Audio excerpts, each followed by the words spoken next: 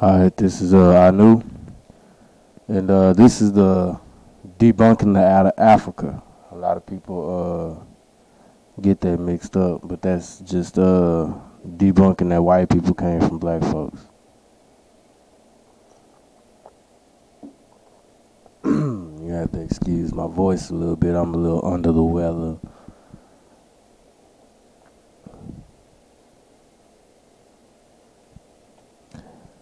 Is the outer Africa theory out. This came from the Scientific American.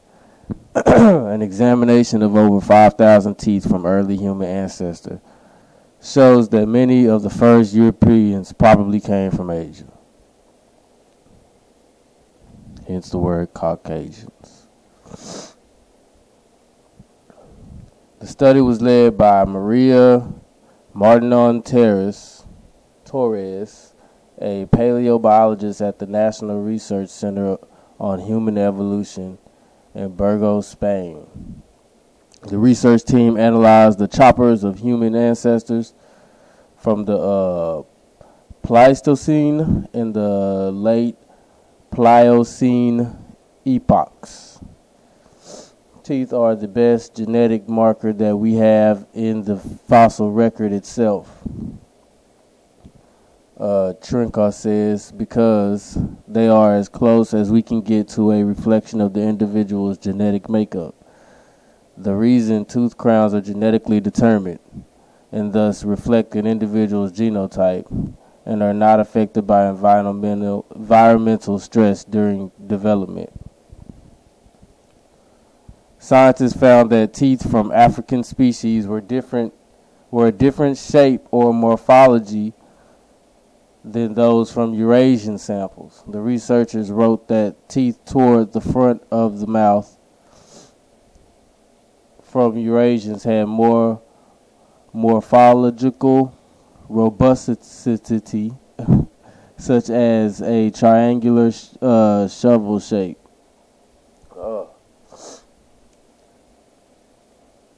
Their back teeth were smaller and had smoother chewing surfaces.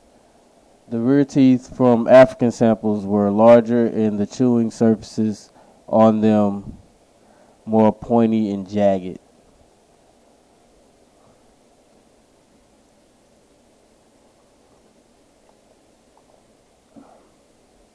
According to the report released by these so called white scientists, published and republished in various authoritative scientific and political journals, Neanderthals are the ancestors of uh, Europeans.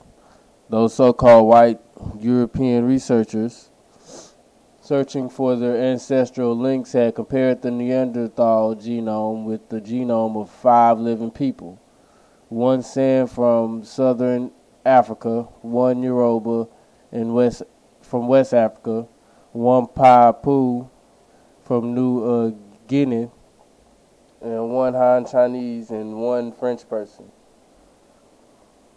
To their amazement, those scientists discovered that 1% to 4% of these latter three sample DNA, being the new uh, Guinean, the Han Chinese's, and the French genome, is shared with Neanderthals.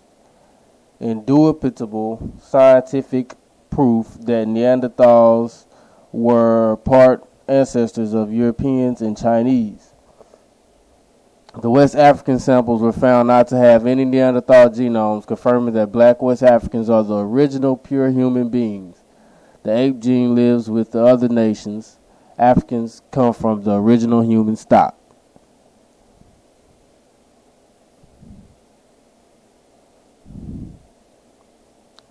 Australian historian Greg Jeffries explains that the whole Out of Africa myth has its roots in the mainstream academic campaign in the 1990s to remove the concept of race.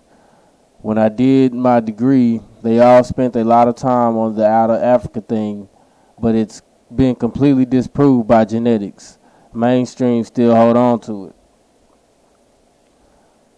It did begin the early 90s and the academics most responsible for the cementing out of both the out of Africa theory and the complementary common ancestral African mother given the name Eve in the public arena in nearly every curriculum where Professor Alan C. Wilson and Rebecca L.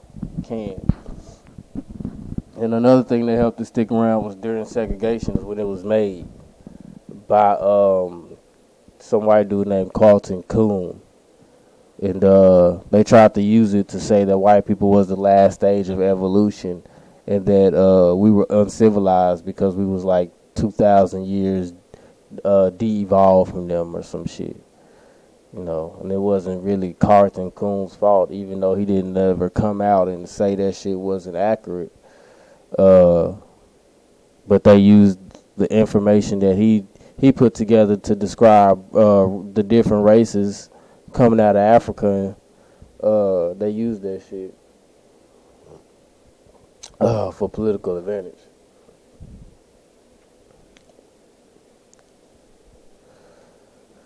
Central to results of this extensive examination of haplogroups was the absence of any African genes. So lacking was the sampling of African genetic involvement. The researchers stated in their introduction that finding the Europeoid haplogroups did not descend from African haplogroups A or B is supported by the fact that the bearers of the Europeoid, as well as all non-African groups, did not carry either SNPs, uh, all these different genomes. We're gonna go over that in, in just a minute.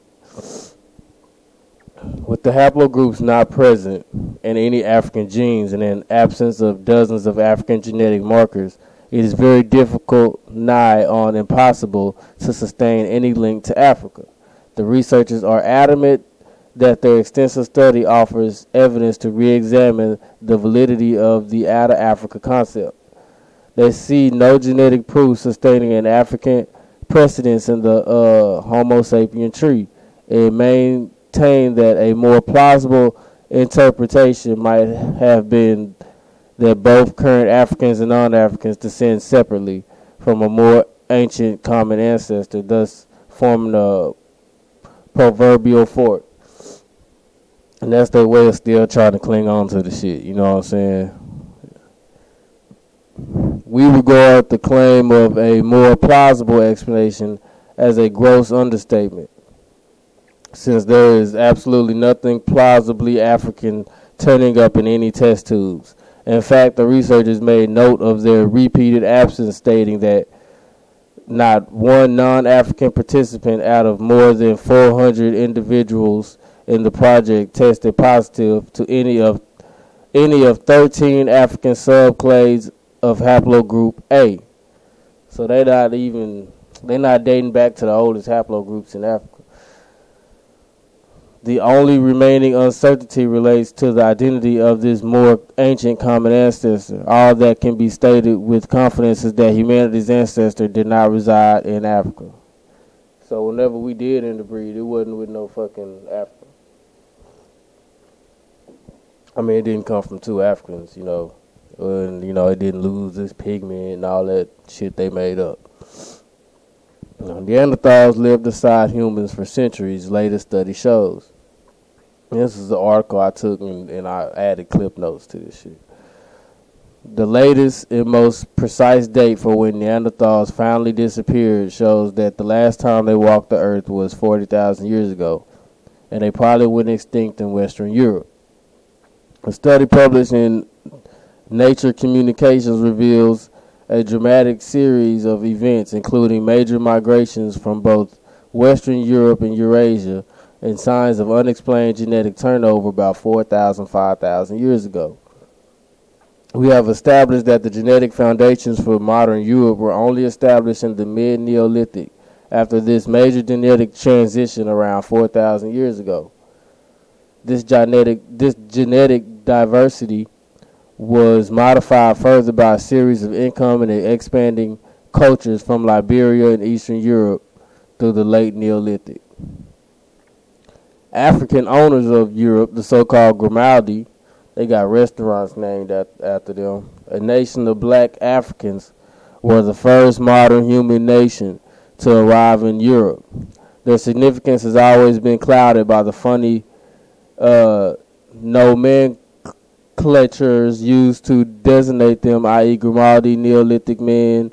This reason for this being that many modern European historians steeped in the pervasive racism of their culture will earnestly wish away the significance of the Grimaldi and the founding role of Africans in the making of Europe and its present day inhabitants. So we was there, you know what I'm saying? They still can't find no uh, genetic markers. Let's just show you how how rare our ancestors was, was trying to interbreed with these beasts. Like y'all don't even realize the founding of Europe by Africans is one of those inconvenient historical facts that completely make a mess of the Eurocentric matrix of world history as developed by the Western culture. They left Africa in waves of migratory movements beginning as far as the Cape of South Africa. They were in Europe as early as 45,000 years ago. On their way, most of them stopped, settled, and developed many nations in Africa. Many of those nations founded the, the groupings that currently exist in modern states of Central West and North Africa. The Grimaldi brought the first material culture to Europe evidence of which they left all over southern Europe. These include artifacts such as gemstone pendants, stone implements, and symbols of communication. And they was what? It just said they was man, that was tens of thousands of years ago. And they had that already. So we're gonna look at some cavemen. Two local German men, direct descendants of 3,000 year old cave dwellers. And uh, I'm not gonna read all that. That's how y'all. That's that's the most important thing you need to see. If his DNA was gonna go back to Africa, it wouldn't have went to no damn cave, man. It skipped right over that shit. So what what was we doing three thousand years ago? Mystery of three thousand year old African civilization. We got a whole civil ruins of civilizations and it was uh, the forgotten Sahara people made the desert bloom, built impressive cities, and controlled an empire of 70,000 square miles. We had a 70,000 square mile civilization while these motherfuckers was living in caves.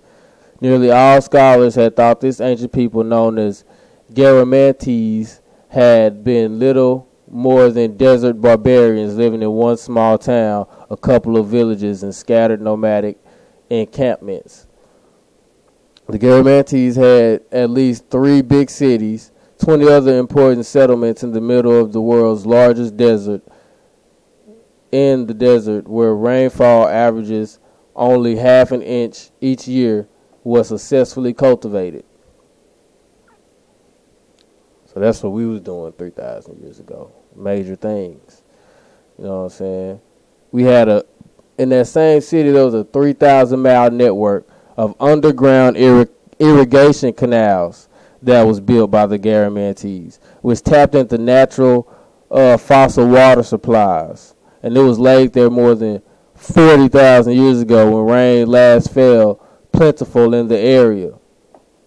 So we was already tapping into underground water and shit, had the shit running into the uh 70,000 square mile city.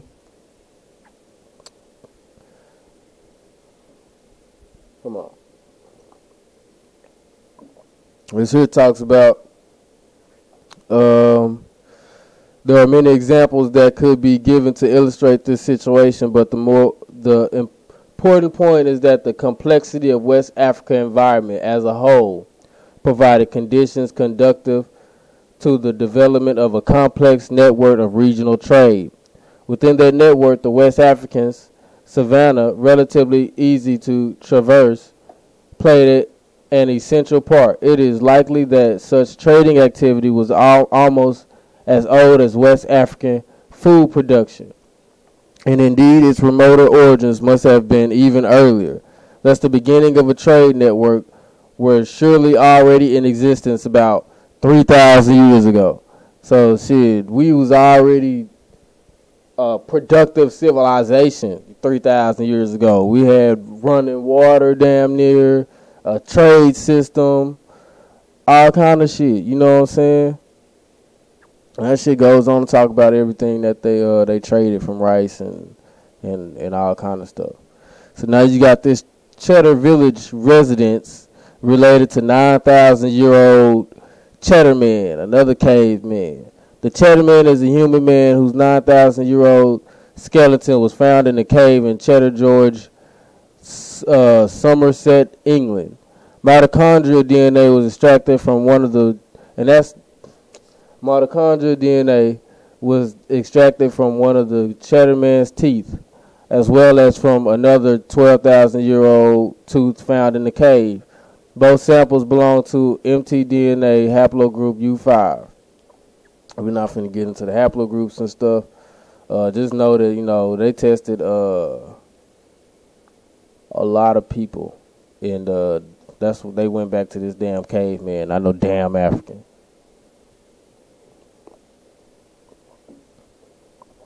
And uh Let's see what we was doing 9,000, 12,000 years ago. And uh, this is uh, from a book called The History of Africa, The Quest for Eternal Harmony. Africans began living by agriculture, that is, the plant growing and harvesting of food, more than 8,000 years ago. During the New Stone Age of the Sahara Desert was fertile and rich land with tall trees and green meadows. In fact, many rivers flow through the land that is now hot and dry. It appears that cattle were plentiful and fish were in abundance during this period. Already, scientists have discovered that the Mauritania to Egypt, numerous stone tools, bone uh, harpoons, and fishing hooks all across the desert. Furthermore, the rock paintings on the walls of, of caves show animals, people, and gods left behind by still earlier Africans. I was eight thousand years ago. We we already had uh, we was fishing, doing all kind of shit, and we already had a deity system, which means there was a political system in place already. This is uh, from the book "The People Peopling of Africa: Geographic Interpretation." A distinct in- industry known as Eburran, formerly Kenya Capsian, has been identified in the rift valleys of eastern Africa. An especially, an especially well developed version was found around Lake Nakuru. It dates back 12,000 years. but hints of microlithic tendencies can be detected in even earlier tool specimens. An exclusive use of obsidian uh, characterizes the uh, the Eburran, and since 8,000 years ago, sedentary tendencies based on fishing are evident. A very wet period set in 10,000 years ago and Lake Nakuru was much larger than it is now. Supported by bountiful food, the population grew and settlements became more permanent.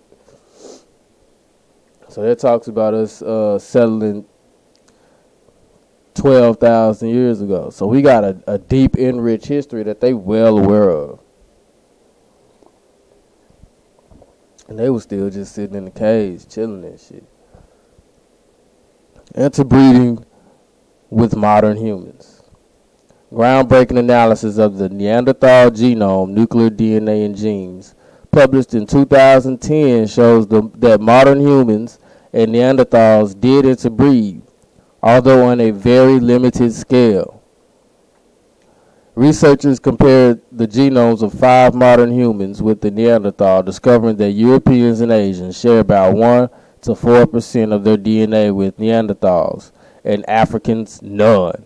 This suggests that modern humans bred with Neanderthals after moderns left Africa, but before they spread in, spread to Asia and Europe. The most likely location is the Levant, where both species coexisted for thousands of years at various times between 50 to 90,000 years ago.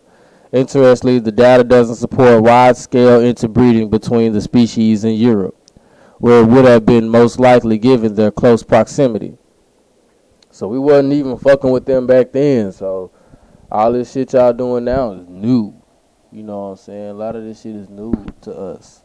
Researchers are now questioning why interbreeding occurred on such a low scale given that it was biologically possible. The answer might lie in cultural differences because they was the answer is in cultural differences. I mean, shit, you see what we was doing. We wasn't trying to live up in the caves and shit. Okay, so we got the relationship between modern humans and Neanderthals. The relationship between modern humans and archaic hominins, particularly Neanderthals, has been the subject of much debate. While the idea that modern humans originated in Africa and spread out to other parts of the world, the out of Africa, is widely accepted, several scenarios have been proposed to account for the replacement of archaic hominin populations. Under strict replacement, modern humans did not interbreed with the archaic populations as they expanded their geographic range. In less strict scenarios, admixture between the populations occurred, but in small amounts, with the bulk of modern human ancestry tied to Africa. The multi-regional hypothesis holds that hominin populations in Eurasia and Africa were held together by gene flow Fossil and genetic evidence supports an African origin for Homo sapiens. Okay, mitochondrial DNA shows the difference between Neanderthals and modern humans. The mitochondrial DNA has to do with your mother. Now, I ain't gonna get into detail with that because I, I can just show you. Okay, nuclear DNA is in, is is inherited by all your ancestors. Now, if if it clearly tells you that mitochondrial DNA is something that's inherited by your mother, and, and science is telling us that the black woman is one of the old, it is the oldest uh, person to walk the earth, and white people mtDNA can't be traced to her. You know what I'm saying? You looking at this. If this was a white man, this gonna stop right here. You know what I'm saying? This shit's not it's it's it's not it's not adding up. You know what I'm saying?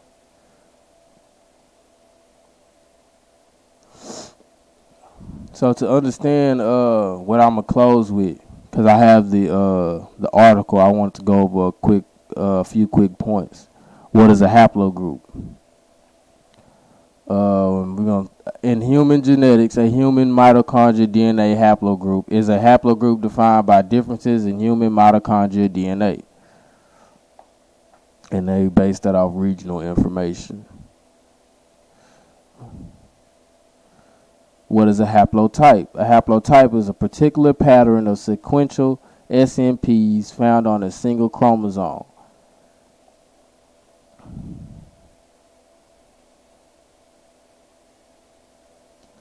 An SNP is a single nucleotide polymorphism. These are positions in the genome where some individuals have one nucleotide and others have different nucleotide. And polymorphism means many forms.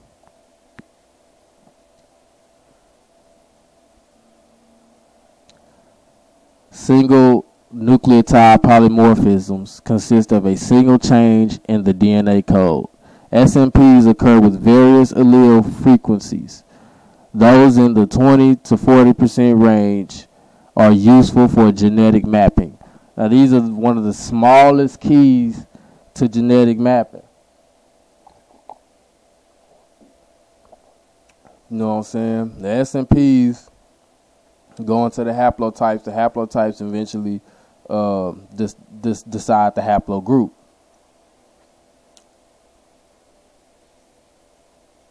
Now, what is a genome? The genome broadly refers to the total amount of DNA in a single cell of an organism, including its genes. The whole hereditary information of an organism that is encoded in the DNA. Now, with that being said, I'm going to close with this. Re examining the out of Africa theory, it's, it's, it was always a theory, never a fact, and the origin of Europeoids, Caucasoids in light of DNA genealogy. And this is from some Russian scientists at the Academy of DNA Gene- Genealogy, uh, Newton, USA. And it was received January 7, 2012, revised February 4, 2012, and accepted March 10, 2012. So it didn't take them no time to accept this as a as a fact. And I wanted to skip most of this because this is a lot of confusing lingo for no reason. And I want to go right here. The finding that the Europeoid haplogroups did not descend from African haplo- haplogroups A or B is supported by the fact that the bearers of the Europeoid haplogroups, as well as all non African haplogroups, did not carry either SNPs. Then you have this long list of um, single nucleotides that, that they did not carry. Haplogroup A in its subclades SNPs. You got some more. You know what I'm saying? You got all this information showing you, and this is a long. If you want this, um, this this uh essay that was written by these Russian scientists proving this that this shit is not real. Um, you can also send me a Gmail for this. I will send this to you. But this is showing you that uh, the to the smallest genomes that decide uh, your haplotype to haplogroup, they don't we don't share anything with them. You know what I'm saying? So there goes your out of Africa theory.